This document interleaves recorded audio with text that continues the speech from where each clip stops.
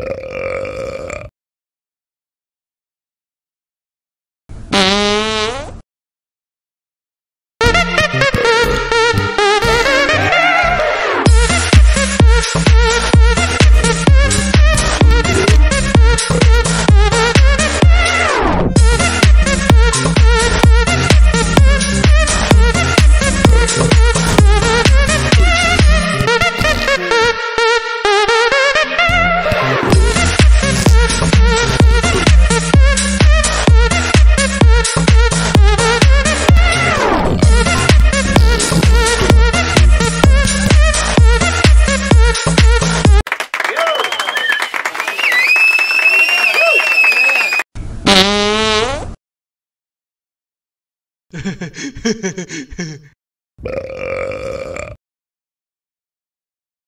The game is not intended to ridicule people who are obese, suffer from bloating or excessive gas production.